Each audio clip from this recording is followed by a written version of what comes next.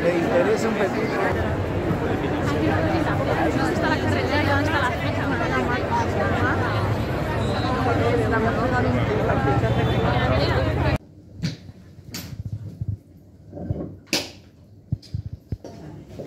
Kung napapansin nyo, kanina hindi ko inahan.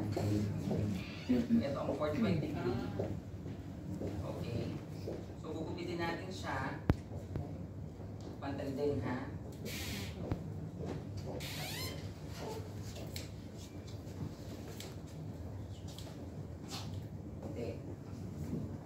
Ito ay 45 degrees. Okay.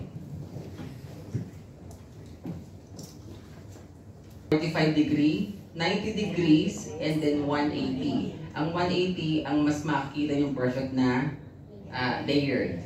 Okay? So, ah